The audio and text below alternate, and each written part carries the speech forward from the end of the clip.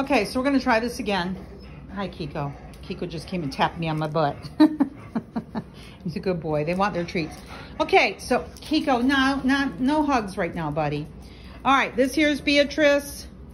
This here's Bronson. And this here's Brawny. Um, these are three shepherd puppies that were surrendered to us on Saturday.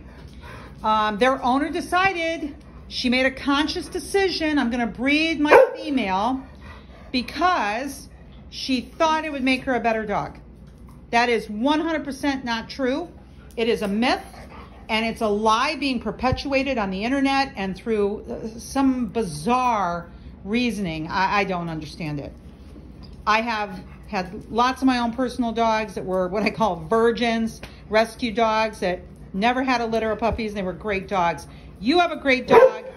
Your dog is a great dog as a reflection of you as a dog trainer, as a personal trainer for your dog, and consistency, structure, boundaries, routine, schedule, you will have a great dog. Just like children, if you provide those things for human children, you will have great dogs. Just like these dogs here, nobody else can handle. They had behavior issues. They're good with mom and dad because mom and dad provided routine structure and boundaries. That dog's never been bred. I don't know about Liam before he came to us, but he's never had a litter of puppies, but he's neutered.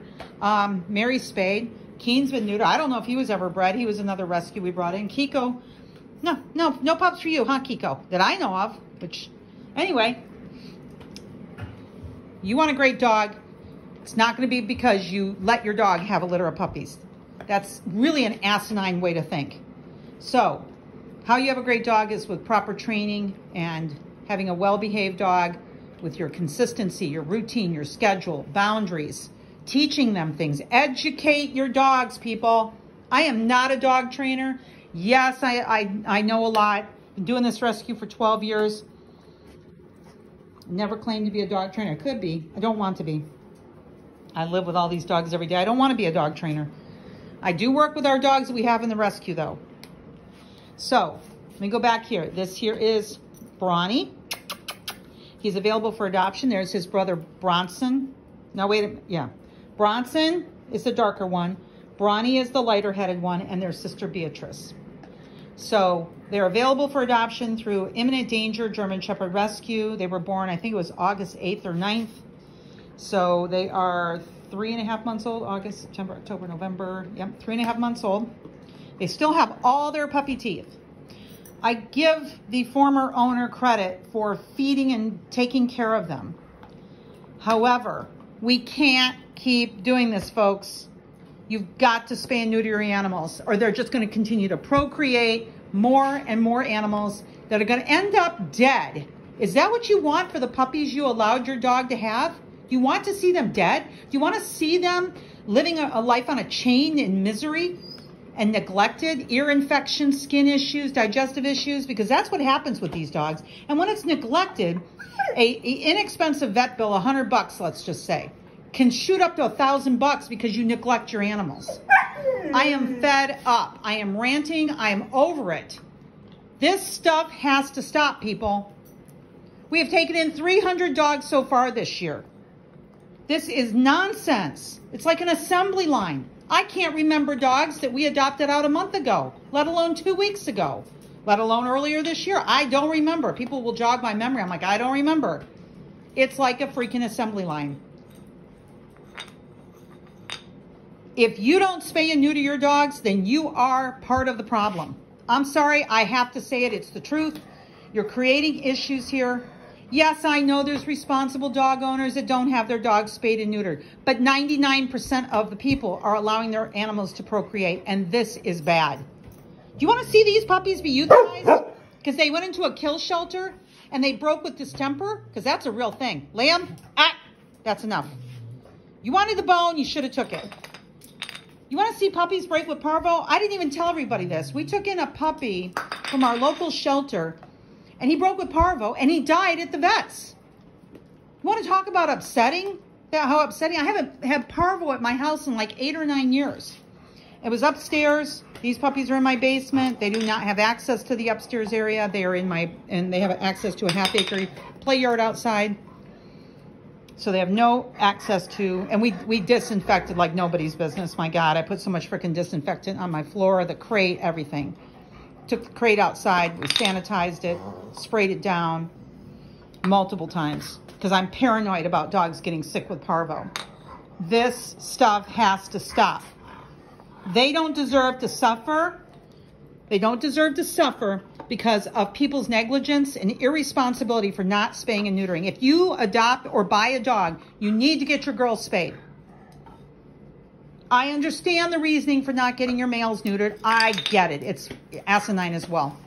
However, you've got to get your girls spayed because this stuff is out of control. All I can say is, for the love of God, please spay and neuter your dogs. These are good puppies. They're good puppies. They're available for adoption through Imminent Danger German Shepherd Rescue. He's a good boy. That's Bronson. Him's a handsome fella. He's sitting here listening to Mama. There's his brother, Brawny. There's seven oh. other siblings out there that are going to be unaltered dogs creating more litters of puppies in the next year. That's what we're dealing with here, guys. This is a crisis. We're getting over 300 requests per month, 10 to 20 requests for intake a day. Emails, text messages, Facebook messages to the rescue, Facebook messages to my personal Facebook page, phone calls, um, people who are desperate, shelters turning away dogs. They're like, I can't keep this dog. He was out on the highway. I know you just, you just nibbled me, huh? You just nibbled me. I felt that. These guys need to get, get their nails trimmed today and their other vaccines. Sorry this has gone long, guys, but it's just got to stop. I'm, I'm, get, I'm 60 years old. I can't keep doing this much longer. These guys are rough on me. I have some health issues. This rescue is going to close in the near future. I'm telling you that. We have to close because I can't do this. And there's nobody that's going to take it over. Nobody's going to do There's hardly anybody wanting to do rescue work. It's all as diehards, blowhards, you know. I guess, I don't know. I'm just ranting here, guys. I'm just fed up. Please, make that appointment today to get your dog spayed and neutered. Stop procrast procrastinating. They've been playing in the water. Yeah, you were. Hi, Beatrice. He's a good girl. I am talking about you guys. You're good puppies.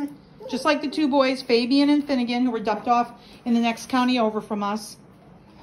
They didn't deserve to get eaten by coyotes or run over by a car and laying in a ditch suffering. We suppose them in here too. I have a whole bunch of adult dogs not getting adopted. This has got to stop, people.